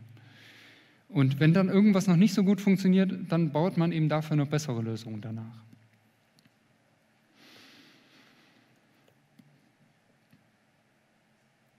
Ja, und wenn wir uns überlegen, was sind jetzt eigentlich gute Architekturen, ne, kleinen Server als ein Beispiel, was sind gute Anforderungen, was sind gute Entwürfe, dann hören wir einfach auf die Teams selbst. Das sollen die Teams selbst entscheiden. Es gibt ein Team, das Team ist verantwortlich für seinen Source Code, das Team muss mit dem Source Code leben und wir drücken nicht von oben irgendeinen Entwurf auf und sagen, es muss immer dieser Entwurf sein in allen Teams in unserem Konzern, sondern das, das Team selbst soll diesen Entwurf und die Anforderungen quasi mitermitteln und festhalten.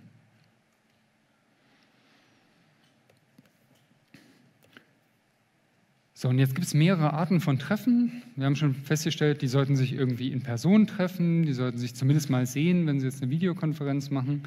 Ähm, aber das Team sollte sich nicht nur täglich treffen und über seine Arbeit sprechen, das sollte sich auch in regelmäßigen Abständen, vielleicht einmal im Monat, zusammensetzen und überlegen, wie könnte das Team noch produktiver arbeiten? Wie könnten sie noch glücklicher sein beim Programmieren? Wie könnten sie äh, noch mehr erreichen, indem sie zum Beispiel überlegen, auf eine neue Programmiersprache zu wechseln, äh, indem sie überlegen, äh, Schulungen, an Schulungen teilzunehmen, äh, Aufgaben anders zu verteilen äh, oder ähnliches. Das, das, das Team soll selbst reflektieren, wie kann es gut arbeiten, was sollte es in der Zukunft irgendwie ändern, um noch effektiver arbeiten zu können.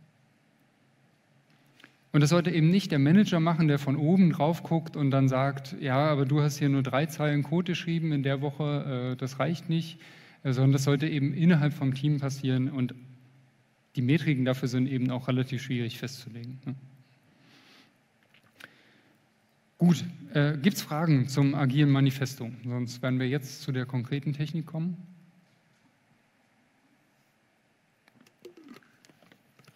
Gut, wen es interessiert, da könnt ihr mehr zu lesen.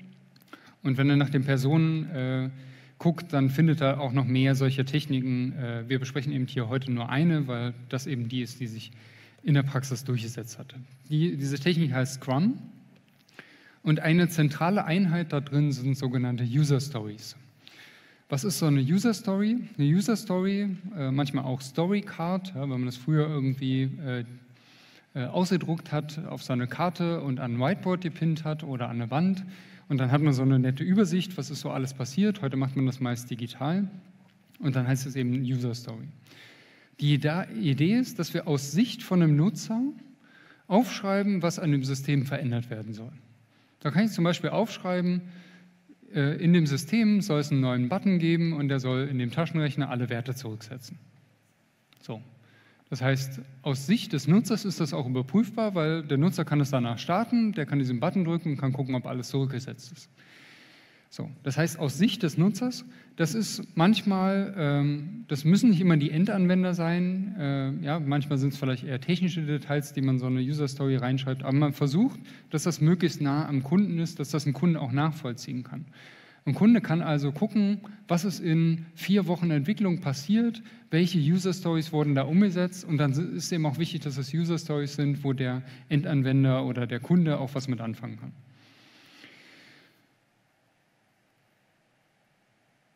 Gut, ähm, diese User Stories werden priorisiert, weil die Idee ist nämlich schon, dass man sich überlegt, was wollen wir jetzt alles umsetzen in den nächsten vier Wochen, was ist am wichtigsten und da kann es durchaus sein, dass der Kunde Präferenzen hat, dass der Kunde sagt, irgendwie bestimmte Sachen sind mir wichtiger als andere Sachen.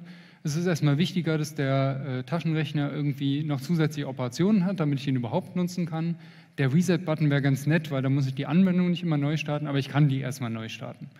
Ja, und das heißt, es kann sein, dass da eine Priorisierung vorgenommen wird, sodass das Entwicklerteam dann überlegen kann, zusammen mit dem Kunden, welche von diesen User Stories in welcher Reihenfolge durchgeführt werden. Das heißt, eine Teilmenge von diesen User Stories wird gewählt und äh, für eine gewisse Iteration, also zum Beispiel für die nächsten vier Wochen, wo man sich überlegt, was könnten wir schaffen als Team.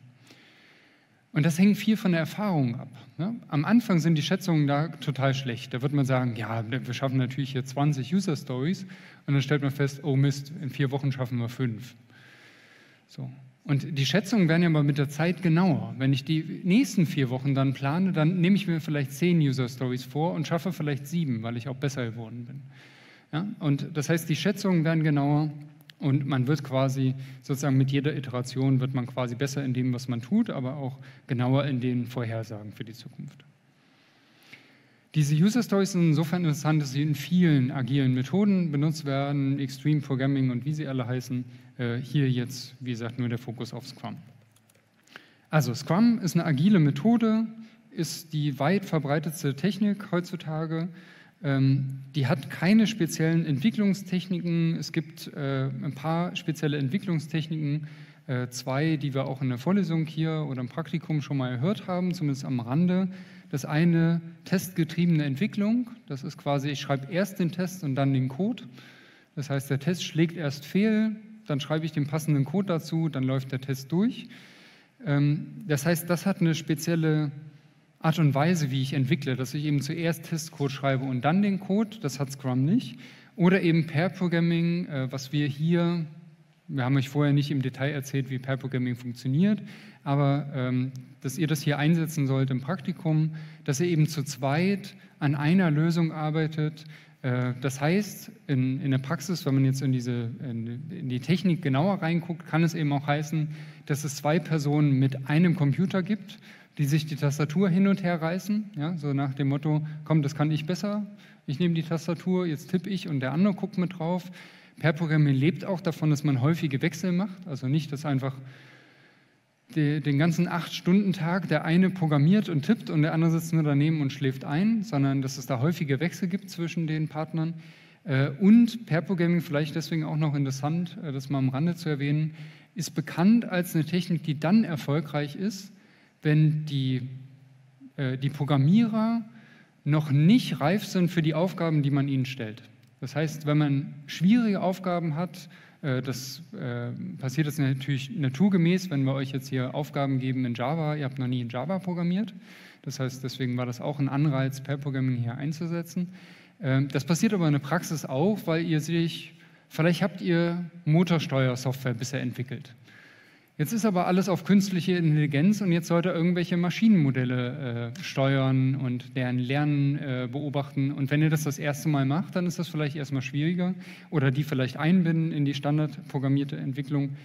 Ähm, gut, das heißt, Pair Programming äh, hat quasi ein, hat den Einsatzzweck, wenn die Programmierer beide davon profitieren können, dass es einfach ein Vier-Augen-Prinzip gibt, dass eben zwei Personen über die gleiche Sache gucken. Also, interessant bei Scrum, das legt nichts darüber fest, wie das intern funktioniert und deswegen ist das auch so generisch einsetzbar. Ja, Pair Programming hat sich nicht so groß durchgesetzt, das wird teilweise eingesetzt in der Praxis, aber nicht so im großen Stil. Test-Driven Development wird teilweise eingesetzt. Ähm, äh, nach allem, was ich bisher gehört habe, die so die äh, Paderborner Firmen, die hier zum Beispiel im Software Innovation Campus sitzen, äh, von denen setzen, glaube ich, auch nicht so viele Test-Driven Development ein, nach dem, was ich gehört habe. Äh, aber Scrum werden sich fast alle einsetzen. Was gibt es in Scrum? In Scrum gibt es einen Product Backlog.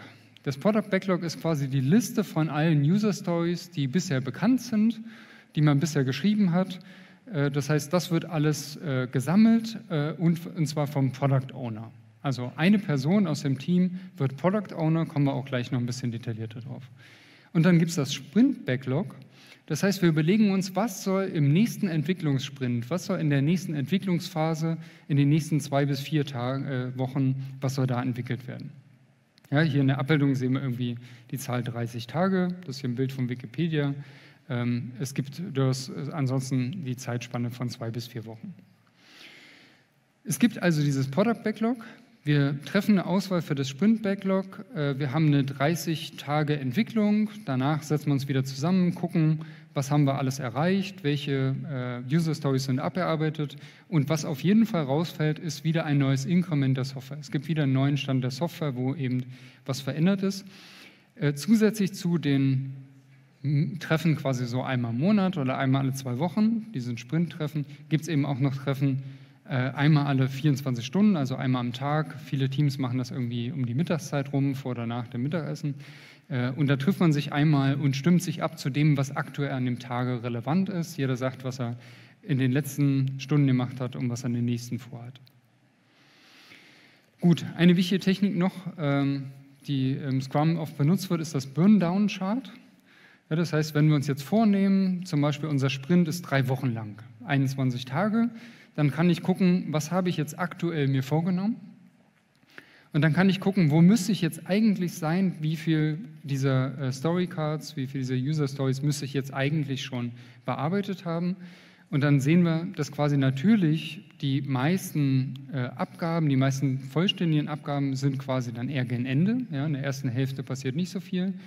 Aber wir sehen hier in diesem Idealbild, kommen wir quasi, sind wir vielleicht mal ein bisschen äh, langsamer unterwegs, mal ein bisschen schneller unterwegs, äh, aber wir sehen quasi den Trend, ob wir es schaffen werden, alles zu schaffen. Warum ist das innerhalb der 21 Tage schon wichtig? Naja, unter Umständen muss ich eben sagen, ich kann nach den 21 Tagen nicht alles schaffen. Ja, ich möchte jetzt nicht, dass alle Mitarbeiter äh, 80-Stunden-Wochen schieben, äh, nur um das hier zu schaffen, äh, sondern ich lasse dann gewisse Sachen weg, die nehme ich dann quasi raus aus meinem Pensum und kann damit quasi beobachten, bin ich im Zeitplan, schaffe ich etwa das, was ich mir vorgenommen habe. Gut, jetzt haben wir noch verschiedene Rollen. Ich versuche das noch in der Kürze zu beenden. Das ist, wie gesagt, relativ wichtig für euch. Äh, es gibt verschiedene Rollen. Es gibt das Entwicklungsteam. Das ist eine selbstorganisierende Gruppe. Ich hatte schon gesagt, da soll keiner von außen irgendwie groß drauf rumhacken, sondern die soll sich selber organisieren. Das sollten allerdings nicht mehr als sieben Personen sein. Wenn ich mehr als sieben Personen habe, habe ich zu viele Personen, die mit zu vielen anderen irgendwie kommunizieren müssen. Die sollen die Software entwickeln, die sollen das Projekt äh, und andere Projektdokumentationen äh, ermitteln. Also es geht nicht nur um die Software, sondern auch um andere äh, Dokumente. Dann haben wir den Product Owner. Was macht er? Das ist die Person, die dafür zuständig ist, quasi so eine Art Kundenrolle zu übernehmen, zu überlegen, das und das haben wir alles an User Stories. Äh, das ist eine Person, die relativ viel Kontakt zu dem Kunden hat, im Zweifelsfall nachfragt bei dem Kunden sozusagen so ein bisschen so das Anforderungsmanagement, also versuchen, die Anforderungen rauszukriegen. ähm, die kontinuierlich das Backlog sich anguckt, von dem aktuellen Sprint das anguckt und guckt, äh, ist man da im Zeitplan, ähm, kommt da auch was raus, womit der Kunde was anfangen kann. Dann haben wir den Scrum Master und das sind häufig Rollen, die durcheinander geworfen werden, aber die was völlig anderes machen. Der Scrum Master ist dafür da, zu gucken, dass das Scrum-Verfahren, dass das Entwicklungsmodell für das Team gut funktioniert. Das heißt, der Scrum Master hat ein Auge darauf, dass eben keine 80-Stunden-Wochen passieren. Der Scrum Master hat ein Auge darauf, wenn vielleicht irgendwelche Sachen im Team vorfallen, äh, zwischenmenschlicher Art, der hat vielleicht ein Auge darauf, äh, dass man äh, im Zeitplan ist und ähnliches. Das heißt, das sind alle Sachen, die irgendwie zu tun haben damit, dass das Team weiterhin auch zu, äh, zukünftig äh, gut arbeiten kann äh, und auch in Zukunft vielleicht sogar effizienter arbeiten kann. Gut, und dann soll natürlich immer wieder irgendwas rauskommen und das nennt sich Product Increment und da gibt es noch so einen Vorsatz, Potentially Shipable. Das heißt, wir wollen das potenziell nach jedem Sprint, was rauskommt, was wir an den Kunden ausliefern müssen, könnten, aber nicht zwingend muss es immer ausgeliefert werden. Ne? Es muss nicht immer in Produktivsoftware münden, sondern das kann, der, kann man mit dem Kunden zusammen entscheiden, was dann tatsächlich aktiv geschaltet wird. Product Backlog habe ich schon relativ viel zu gesagt, jetzt ist hier nochmal zusammengefasst. Daily Scrum, ja, das war das Meeting alle 24 Stunden. Das heißt, einmal am Tag trifft man sich, äh, man steht dabei, deswegen Stand-up-Meeting, um das Meeting relativ kurz zu halten. Da geht es eigentlich nur darum, was hat wer für Probleme, wer muss mit wem kommunizieren, äh, sprechen, wer muss mit wem vielleicht auch mal Pair-Programming anwenden, um irgendwelche Probleme zu beheben oder zu debuggen. Ähm, um quasi den täglichen äh, Fluss, die Arbeit quasi zu ermöglichen. Dann haben wir den Sprint, habe ich jetzt relativ viel darüber erzählt. Äh, und dann kann man noch gucken, was ist eigentlich das, was das Team schafft? Und das ist die Velocity. Das heißt, wir können jetzt auf die Überlegung kommen, äh, wir schätzen jetzt mal, wie viel Aufwand wir brauchen für eine User Story. Dann kann ich sagen, ich brauche dafür sieben Tage. So, man macht das allerdings bei den Schätzungen nicht mit sieben Tagen, sondern man würde sagen, wir haben sieben als Zahl. Ich nehme quasi die Einheit weg. Und das Interessante ist, wenn ich dann irgendwann feststelle, ja, ich hatte vorhin das Beispiel, wir haben uns 20 User Stories vorgenommen, wir schaffen aber eher nur so fünf. Und jede User Story ist ja vielleicht nicht gleich schwer. Dann müssen wir eigentlich nur noch einschätzen, wie schwer sind User Stories. Und wir können dazu lernen, wie viel schaffen wir in dem Team. Und es kann zum Beispiel sein, dass wir sagen, es gibt Urlaubszeit, da sind zwei von vier Teammitgliedern sind weg, dann schaffen wir eben weniger und dann können wir nicht mehr eine Rechnung machen mit Wochen oder Tagen, sondern müssen wir eben einfach sagen, wir schaffen in dieser Woche nur 20 Einheiten statt vielleicht wie sonst 40 Einheiten und dann können wir runterbrechen, was das heißt für User Stories. Ja, das heißt so eine Kapselung von dem Vorankommen. Was sind Vor- und Nachteile? Vorteile, wir brechen so ein Produkt runter in viele kleine Einheiten, in viele kleine Einheiten, die wir einzeln umsetzen können mit diesen User Stories. Wir haben, äh, wenn wir Anforderungen haben, die sich ändern, können die ganz leicht integriert werden. Wir stellen einfach eine neue User Story auf, wir verändern eine bestehende User Story. Äh, wir haben viel Kommunikation im Team, viel Transparenz. Äh, die Kunden können auch neue Inkremente regelmäßig sehen, eben durch diesen Prozess. Mit dem Kunden wird das festgelegt. Kann ja auch der, sein, dass der Kunde sagt, alle zwei Wochen möchte ich was sehen. Dann ist eben ein Sprint nur zwei Wochen lang. Gut, und das alles fördert quasi das Vertrauen zwischen Kunden und Entwickler. Und deswegen funktioniert das auch, dass eine Firma eine andere Firma beauftragt und sagt, ich bezahle eure Entwickler jetzt einfach für vier Wochen und die sollen Folgendes entwickeln ohne dass man haarklein bis ins Detail festgelegt haben muss, wo welcher Button sein muss. Ja, einfach durch das Vertrauen. Es gibt aber Nachteile. Es ist die Frage, was ist mit größeren Teams? Was ist, wenn ich jetzt 100 Leute habe? Dann muss ich erstmal überlegen, wie teile ich die jetzt in andere Teams auf? Wie kommunizieren die miteinander? Was ist, wenn ich äh, einen Vertrag trotzdem brauche? Wenn der Bund sagt, hier muss eine Software beauftragt werden, da muss es so ein großes Pflichtenheft oder Lastenheft geben, da muss alles drinstehen da muss ich natürlich überlegen, wie ich damit umgehen kann. Dokumentation und Testen habe ich jetzt bei Scrum fast gar nicht erwähnt. Heißt nicht, dass es nicht passiert, sondern das muss, ich muss mir Zeit nehmen, ich muss auch eine User Story schreiben und muss sagen, jetzt wird Dokumentation geschrieben, jetzt werden Tests geschrieben. Äh, ich brauche kontinuierlichen Input vom Kunden und auch da muss ich gucken, dass ich den kriege. Und wenn der Kunde nicht jeden Tag verfügbar ist oder einmal im Monat, dann muss ich mir eben die Rolle überlegen und die Rolle übernehmen im eigenen Team. Gut. Äh, den Rest lassen wir jetzt hier mal weg. Äh, also, es ging im letzten Teil der Vorlesung um agile Entwicklung. Agile Entwicklung, weil, weil das Wasserfallmodell und das V-Modell in der Praxis eben nicht gut funktioniert haben. Äh, von diesem agilen Manifesto mit seinen vier Werten und zwölf Prinzipien haben wir eben gesehen, wie sich das zum Beispiel darstellen kann mit, den, mit Scrum, mit User Stories. Ähm, und äh, ja, wenn es jetzt noch Fragen gibt, können wir die jetzt noch klären, da die Zeit ziemlich fortgeschritten ist, aber auch gerne in der nächsten Vorlesung.